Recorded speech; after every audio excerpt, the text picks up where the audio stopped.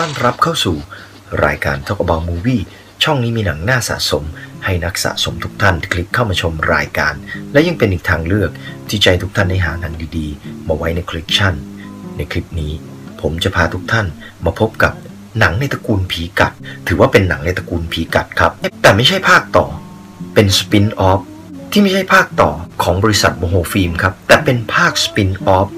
และภาพยนตร์เรื่องนี้ยังคงความเป็น หนังแนวผีกัดไว้ได้ดีเลยครับ ภาพยนตร์ที่ผมจะมาแนะนำในคลิปนี้ และแนะนำให้ทุกท่านได้หามาชมย้อนหลังกัน ก็คือภาพยนตร์เรื่อง ผีกัดอย่ากัดตอบตอนไม่ให้กัดก็ฟัดทั้งตัว Vampire vs Vampire ในปี 1989 ที่หยิบยกมาพูด แล้วก็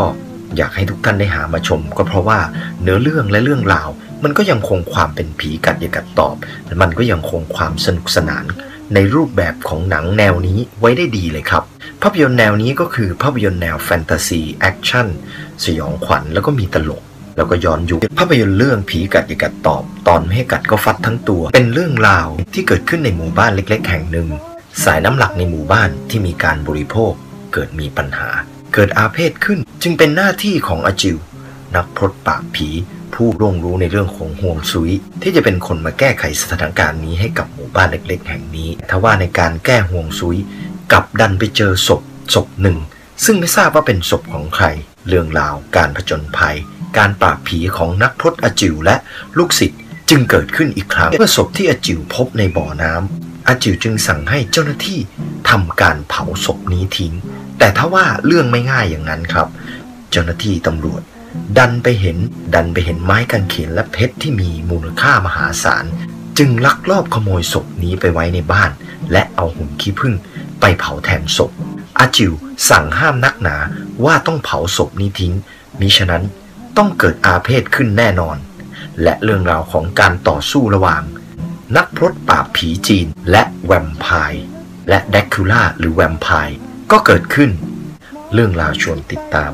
เรื่องราวชวนสยดสยอง เรื่องราวที่มีเอกลักษณ์เฉพาะตัวในการปราบผีของภาพยนตร์เรื่องนี้ ในส่วนของฉากแอคชั่น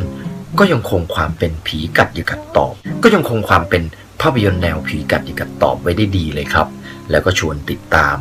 ในส่วนของความสยองขวัญก็ไม่ได้ลดน้อยลงเลย ก็ยังคงมีความสยองขวัญอยู่ในภาพยนตร์เรื่องนี้ มุกตลกแบบผีกัดอย่กัดตอบ มุกตลกแบบแบบสูตรสำเร็จของหนังแนวผีกัด ก็ยังคงความเป็นหนังแนวผีกัดไว้ได้อยู่ ในส่วนของเทคนิคพิเศษก็ยังคงความเป็นผีกัดยกัดตอบไว้ได้ดีเลยครับ อย่าลืมหาภาพยนตร์เรื่องนี้มาชมนะครับ แล้วเรามาเอาใจช่วยอาจิว ว่าอาจิวจะต่อสู้กับแดร็กคูล่าหรือแวมไพร์ยังไง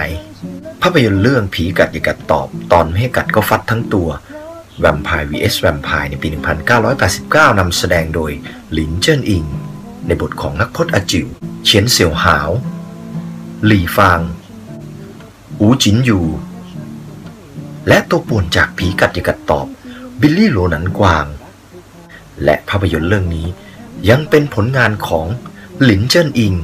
ที่รับบทเป็นนักพจน์อาจิว ทั้งกำกับเองแสดงเองและยังร่วมอำนวยการสร้างเองด้วย ถือว่าเป็นผลงานมัสเตอร์พีซและเป็นหนังแนวตระกูลผีกัด